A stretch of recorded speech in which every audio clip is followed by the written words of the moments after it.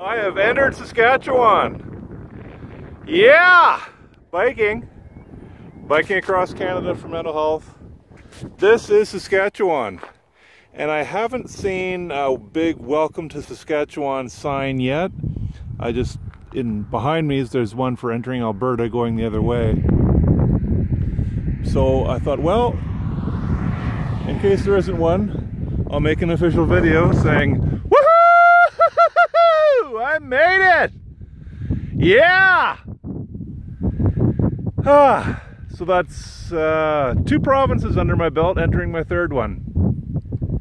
Makes me happy. The further I get, it just makes me realize that I can, uh, just gives me more oomph, more, more uh, pep in my step. Yeah. Here's uh, an old farmstead it looks like. I don't know if that's what it was, but some old buildings. There's some others further up there and some others way back there behind me that you can't see.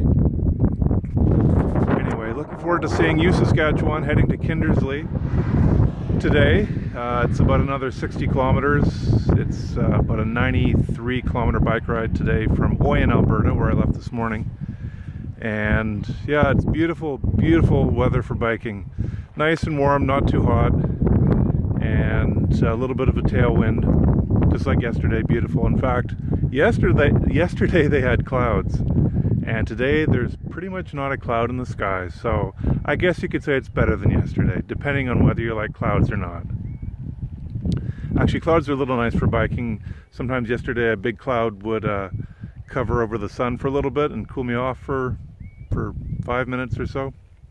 It's kind of nice. Anyway, I'm to keep biking here. Talk to you later.